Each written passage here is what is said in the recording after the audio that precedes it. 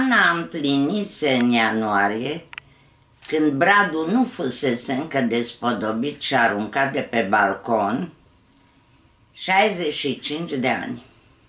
De pe la 50 am început să nu mai vreau să fiu sărbătorită.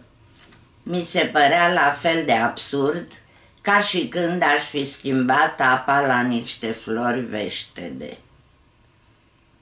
Citat din Sexagenara și tânărul, editura Polirom 2012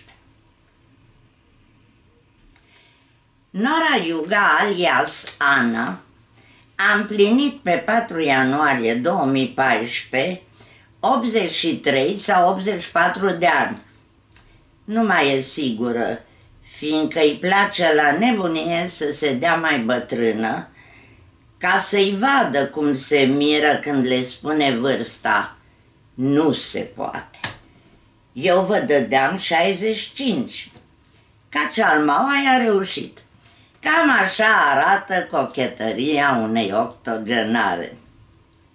Așadar, 4 ianuarie 84, dacă stă în puterea mea, de ce să nu-mi cresc anii?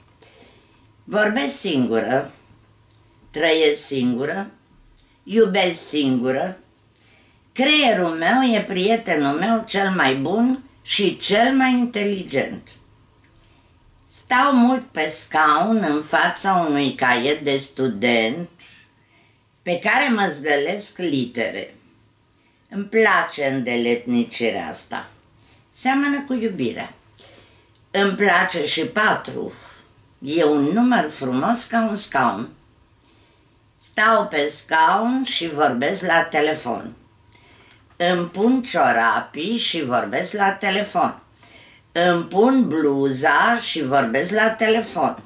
Îmi închei fermoarul și vorbesc la telefon. Mă pieptăn și vorbesc la telefon. Sot din ciorbă și vorbesc la telefon. Ascult știrile pe antena 3 și vorbesc la telefon.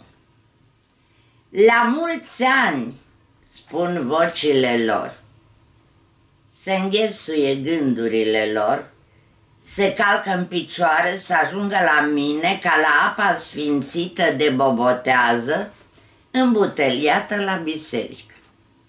Și câte gânduri venite de neunde m-au înjurat uneori fără nicio vină, cum mă sărbătoresc azi, fără niciun merit, dar eu nu întreb de ce, fiindcă dacă aș ști, darul s-ar preface în răsplată.